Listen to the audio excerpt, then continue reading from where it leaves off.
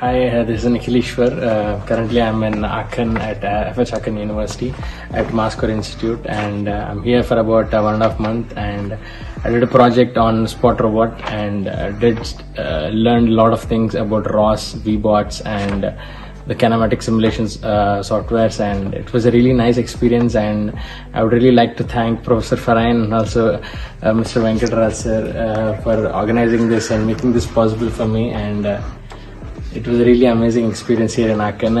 and uh, I hope I did a good work with my project and